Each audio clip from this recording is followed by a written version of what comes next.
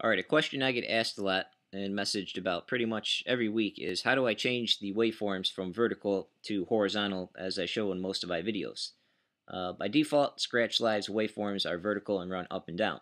Uh, but a lot of people don't like the vertical waveforms and would much prefer the horizontal waveform ones, uh, like I show in my videos. So how do we do that? Uh, well, first you need to go into the Setup menu, and on the Display tab, there's an option right here, Horizontal Waveforms uh, you're just going to want to check that box. Now, just checking the box alone will only flip the vertical ones sideways, and it'll still be the same width-wide as, as, the uh, vertical ones. So how do we stretch them out to make them fill up more of the screen space? Uh, well, there's two prerequisites, first of all, in order for this to work.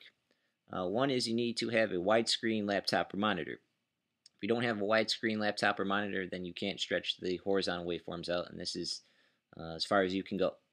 Uh, but most new laptops these days are widescreen, so unless you have a really old laptop, then uh, you're pretty much SOL. Uh, but if you have widescreen laptop or monitor, then you're going to need to increase the audio cache setting right here.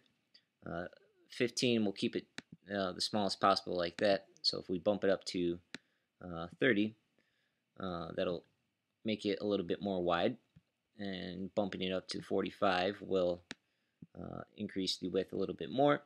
And finally, doing 60, going up to 60 will increase the uh, width to its widest possible uh, that your screen resolution allows.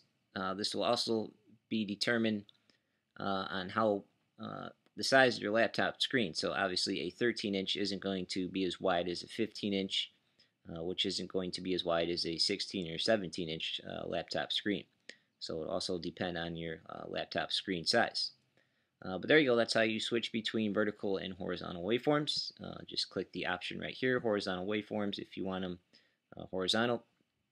Uh, uncheck will leave it vertical, uh, Scratch Live's default, and you also must increase the audio cache setting right here to, I would just put it on 60 because I'm sure you're going to want it uh, as wide as possible. So there you go, that's how you switch between vertical and horizontal waveforms in Scratch Live.